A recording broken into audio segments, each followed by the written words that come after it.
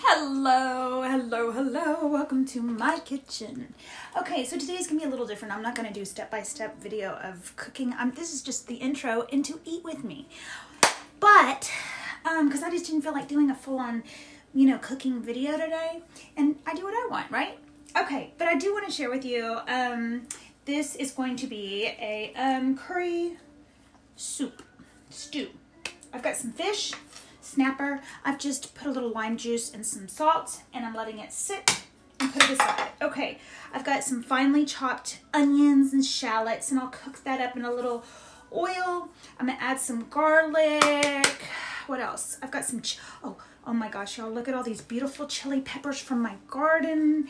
Um, a little bell pepper. Look, I've got some yellow ones and some red ones and these small little, yeah, all sorts of nice stuff. I've also got some lime leaves, little um, lime leaves from my lime plant.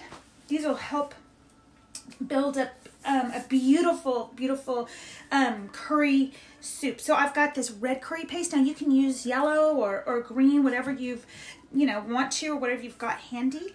Um, I've got some coconut milk. I put that at the end. I'm going to add some fresh turmeric and a little bit of um, ginger paste. I'm going to, um, let's see, little fish sauce will, will, will build the flavor and some of that yummy, um, I can't pronounce it right, gochujang, gochujang. Um, it's a, it's a Korean um, red chili paste. Okay, some lime. Um, what am I missing? The stock. You can use chicken stock or fish stock. Um, they don't. This is better than bouillon. I know you guys know what this is, but this is the. Oh my god, I love this. It's the um, the clam one. Now they don't even make that anymore. I'm just gonna use a tiny bit of it, and I'm also gonna use a little bit of garlic bouillon, and that's gonna be my stock. Um, I'll put a little squeeze of anchovy paste in there just to give it a little bit more yumminess. Um, did I miss anything? Uh, I'll top it with a little bit of carrot and um, shredded peppers and a little um, sliced avocado. Beautiful stuff. Some some Thai basil leaves, some a little bit of cilantro.